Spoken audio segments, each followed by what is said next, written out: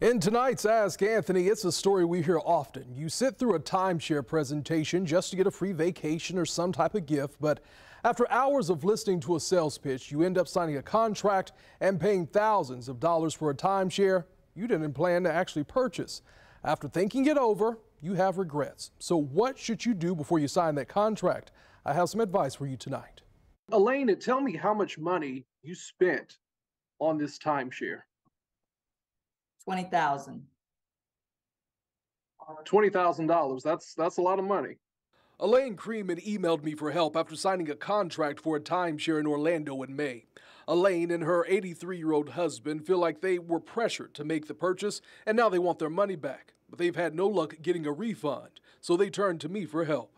The one thing they didn't tell us during the whole presentation and the signing of the paperwork was we only had ten days to cancel.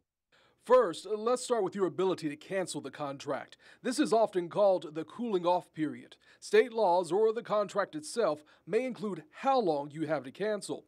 If you do cancel, send a letter to the seller by certified mail and ask for a return receipt.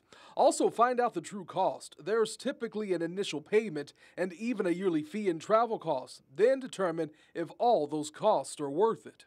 I paid twenty thousand dollars for points that le- they led me to believe I could use for much discounted hotels and other travel, uh, rental cars, this and that. And now their prices are almost double what I can get myself. A warning sign if representatives say today is the only day for the deal, the Federal Trade Commission warns the timeshare company sets the rates, so why aren't they available later as well?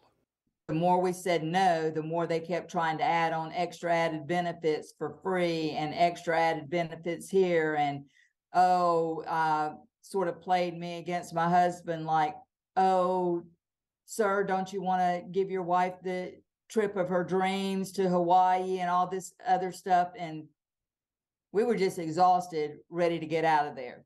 Don't be afraid to say no. If you can't afford it or you don't want to make the commitment, you can walk away without making any final decisions. Take all the documents with you and review them away from the pressures of the presentation. And if you feel you've been scammed by a timeshare company, you can report it to the Federal Trade Commission, your state attorney general's office, and the Better Business Bureau. I am working to get Elaine and her husband a refund. Remember, if you have a problem you just can't solve, you can always email me at askanthony at firstcoastnews.com.